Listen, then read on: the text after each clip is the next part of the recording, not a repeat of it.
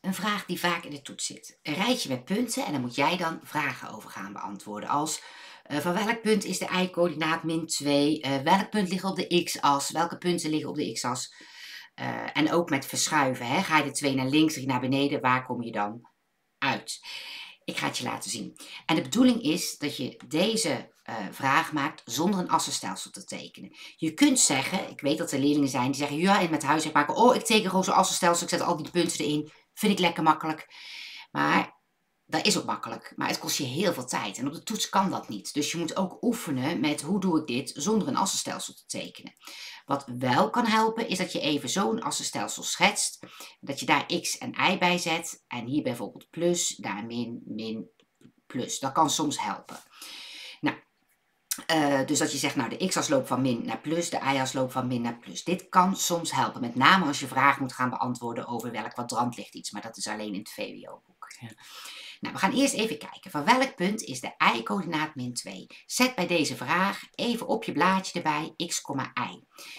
Um, en dan zeggen ze, oké, de y-coördinaat. En dan weet jij, oké, ik moet naar de tweede gaan kijken. Van welke is de tweede eigenlijk van dit rijtje? Min 2. Ze hebben over één punt, dus zeg niet punten. Nou, deze min 4, 3,5, dit is hem. Ik loop hem altijd nog even na, of er nog één is. Nee. En hoe schrijf je dat nu op? Um, dan schrijf je op ik het wel iets dikker even voor jullie, dat is beter te zien. Uh, C min 4, min 2. Als je alleen C opschrijft, denk ik niet dat we het fout rekenen, maar dit is wat vollediger. Nou, welke punten hebben dezelfde x-coördinaat? Nou, dezelfde x-coördinaat, dan gaan we dus kijken welke punten uh, hebben de eerste hetzelfde. Het eerste uh, getalletje. Het eerste getalletje, welk is van deze? Um, uh, ja, is het eerste getalletje hetzelfde. Nou, ze hebben het over welke punten. Dat zijn dus één, dat zijn dus twee of meer. Nou, dan gaan we even kijken. Vijf. Heb ik nog een vijf? Aan de eerste? Nee. Een min 4. Heb ik nog een min 4? Jazeker. C is nog een min 4. Even kijken of er nog eentje is. Nee. Dus dat is punt B en C. Maar misschien zijn er wel meer die ook dezelfde x-coördinaat hebben. He, dus wel niet gelijk aan die min 4, maar gewoon ook nog een setje. Dus altijd nog even verder kijken. 4. Heb ik nog iets met 4? Mm, ja, deze. En D en F. En dan heb je nog 0, 2, 1 vierde en min 2. Die zijn echt allemaal anders. Dus kijk altijd eventjes als ze dat vragen. Welke punten hebben dezelfde x-coördinaat? Heb je, heb je een setje te pakken? Zit er nog een setje in? Dan komt er nu een stukje. En daar hebben we in de les best ook wel aandacht aan besteed. Hoe zit dat nou met die punten op de x- en de y-as? Nou, een punt op de x-as, daarvan is de y 0. En vaak gaat dat mis. Als er staat welk punt liggen er op de y-as, dan zijn er heel veel leerlingen die gaan kijken, oké, de y moet dan 0 zijn. En dan zeggen ze bijvoorbeeld punt D. En dat is fout. Hoe moet het dan? Nou bedenk je even, een punt op de x-as, een punt op de x, uh, wat vragen ze op de y-as, die ligt dus hierop. En wat enorm kan helpen is als jij even dit geschetst hebt zo, en je denkt, oké, dit is de y, een punt op de y-as. En kijk dan eens wat met al die punten wat er is op die y-as. Die hebben allemaal geen x. Bij allemaal is die x 0. Dus bij een punt op de y-as is de x 0. En um, dat moet je even echt onthouden. Dus punt op y-as, dan x-coördinaat 0. En andersom. Dus, uh, en waar komt dat nu vandaan? Want sommigen zeggen, ja, maar dat snap ik niet. Dat is eigenlijk altijd onthoud het gewoon. Gewoon onthouden. Dat is even het belangrijkste. Dat je wel weet op de toets. En waarom is dat nu? Nou, als je zo kijkt bij een punt op de y-as, die geeft de hoogte aan. Die geeft de hoogte aan. En uh, dus die heeft, een punt op de y-as kan wel een verschillende hoogte hebben. Maar hij kan niet opzij, want dan ligt hij niet meer op de y-as. Ik kan deze wel een stukje opzij doen, maar plop, dan valt, dan valt hij zo van de y-as af als ik hem opschuif. Dus een punt wat op de y-as ligt, een punt wat op de y... Oh, ik doe even niet wat ik wil. Ik doe het even zo. Een punt wat op de y-as ligt, kijk zo, heeft wel een hoogte, maar geen breedte. Want zo gauw die een breedte heeft van 1 of zo, dan, dan valt die van de y-as af. Dus een punt op de y-as heeft geen breedte. En de breedte, dat wordt aangegeven door de eerste, door de x, en daarom is de x 0. Oké, nou, de uitleg is dus we gaan nu kijken, als er staat welk punt ligt op de y-as, dan wat kan helpen is dat je dan opschrijft, even voor jezelf op de toets, x is 0 erachter. Heb je zo opgeschreven. Dan ga je kijken voor welke is de x 0. La la la la la la la. Deze, nog eentje, nee. Als wij zo'n toetsvraag maken, hebben wij bijvoorbeeld ook nog een punt k. En dan bijvoorbeeld juist andersom, 4,0. Want nu weet je al, ja, het moet iets... Oh, die staat er trouwens toevallig precies bij, alleen heet dan d. Maar goed, in ieder geval dat je dus weet, we stoppen er altijd nog een punt in waarbij het precies andersom is. Ja, dat is wel grappig. Ik neem precies hetzelfde voorbeeld.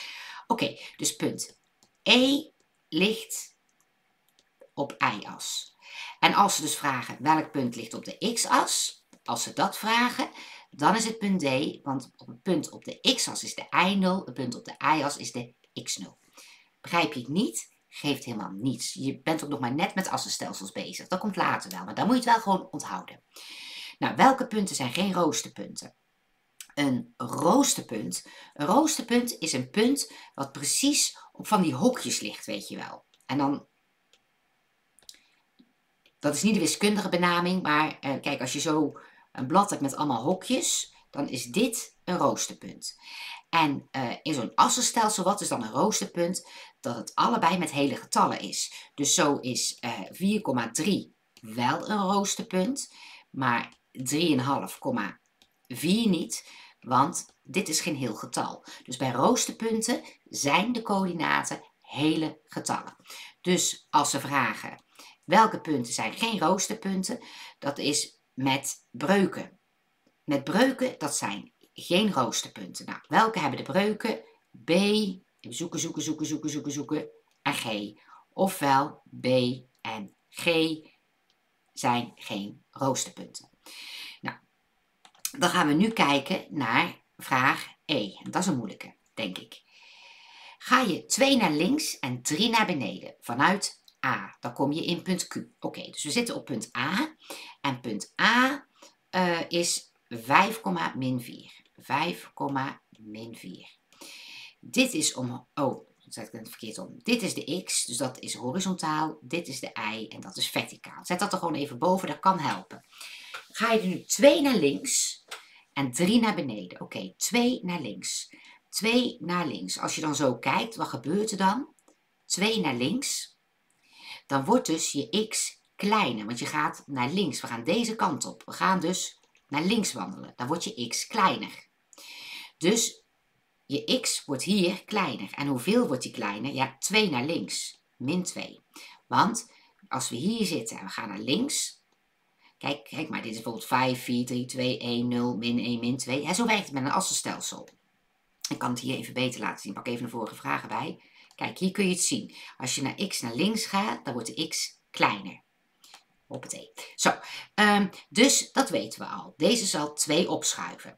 Dan gaan we kijken, 3 naar beneden. Nou, als we dan weer zo dat assenstelsel hebben, uh, en je gaat uh, naar beneden, je gaat naar beneden, als je naar beneden gaat, dan wordt dus je ei kleiner want um, hier heb je bijvoorbeeld 3 en hier zit min 3. Dus je gaat, als je naar beneden gaat, wordt je i kleiner.